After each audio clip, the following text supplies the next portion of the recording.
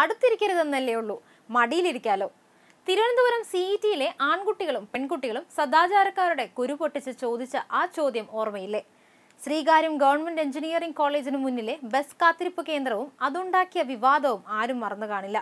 ആൺകുട്ടികളും പെൺകുട്ടികളും ഒരുമിച്ചിരിക്കുന്നുവെന്നാരോപിച്ച് ഒരു കൂട്ടർ ഇരിപ്പിടം വെട്ടിപ്പൊളിച്ച് കളഞ്ഞപ്പോൾ മടിയിലിരുന്നാണ് വിദ്യാർത്ഥികൾ തിരിച്ചടിച്ചത്. ആ സി ഇ ടി പരിസരത്തെ വെയിറ്റിംഗ് ഷെഡ് തിരുവനന്തപുരം കോർപ്പറേഷൻ പൊളിച്ചു നീക്കിയിരിക്കുകയാണ്. ഇതേ സ്ഥലത്ത് പുതിയ ബസ് കാത്തിരിപ്പ് കേന്ദ്രം നിർമ്മിക്കുമെന്നും ലിംഗസമത്വം ഉറപ്പാക്കും വിധമായിരിക്കും നിർമ്മാണമെന്നും മേയർ ആര്യ രാജേന്ദ്രൻ ഉറപ്പ് നൽകിയിട്ടുണ്ട്. ശ്രീകാര്യം ഗവൺമെന്റ് എഞ്ചിനീയറിംഗ് കോളേജിന് മുന്നിലെ ബസ് കാത്തിരിപ്പ് കേന്ദ്രം ജൂലൈ മാസത്തിലാണ് സദാചാരക്കാരാൽ കുപ്രസിദ്ധമായത്. ആൺകുട്ടികളും പെൺകുട്ടികളും ഒരുമിച്ചിരിക്കുന്നത് ഒഴിവാക്കാൻ ഇരിപ്പിടം വെട്ടിപ്പൊളിച്ച് ഒരാൾക്ക് മാത്രം ഇരിക്കാവുന്ന രീതിയിലാക്കുകയായിരുന്നു ഒരു കൂട്ടം നാട്ടുകാർ ചെയ്തത്. ഒരാൾക്ക് മാത്രം ഇരിക്കാൻ കഴിയുന്ന ഇരിപ്പിടത്തിൽ പെൺകുട്ടികൾ ആൺകുട്ടികളുടെ മടിയിലിരുന്ന് പ്രതിഷേധിച്ചതോടെ സംഭവം വൈറലായി.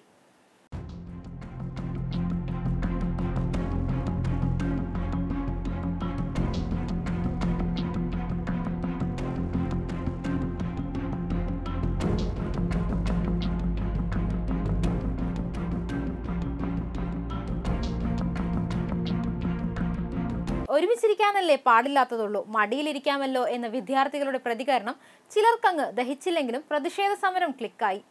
ഒരാൾക്ക് മാത്രം ഇരിക്കാൻ സാധിക്കുന്ന ബെഞ്ചിൽ പെൺകുട്ടികൾ ആൺകുട്ടികളുടെ മടിയിലിരുന്നു കൊണ്ടായിരുന്നു പ്രതിഷേധം.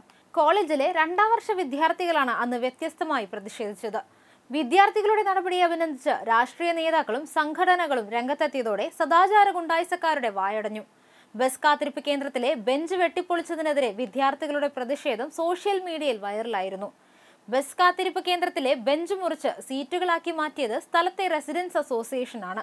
നാട്ടുകാർക്ക് വേണ്ടി നിർമ്മിച്ച കാത്തിരിപ്പ് കേന്ദ്രമായിരുന്നു ഇതെന്നും അവർക്കത് ഉപയോഗിക്കാൻ കഴിയുന്ന തരത്തിൽ പുതുക്കി പണിയുകയാണ് ചെയ്തതെന്നുമാണ് ഇക്കാര്യത്തിൽ റെസിഡൻസ് അസോസിയേഷൻ അന്ന് പറഞ്ഞത്. എന്തായാലും പുതിയ കാത്തിരിപ്പ് കേന്ദ്രത്തിനായി ഇനി വിദ്യാർത്ഥികൾക്കും നാട്ടുകാർക്കും കാത്തിരിക്കാം.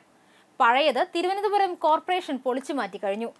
ലിംഗസമത്വം ഉറപ്പാക്കും വിധമായിരിക്കും പുതിയതിന്റെ നിർമ്മാണമെന്ന് മേയർ ആര്യ രാജേന്ദ്രൻ പറഞ്ഞു കഴിഞ്ഞു.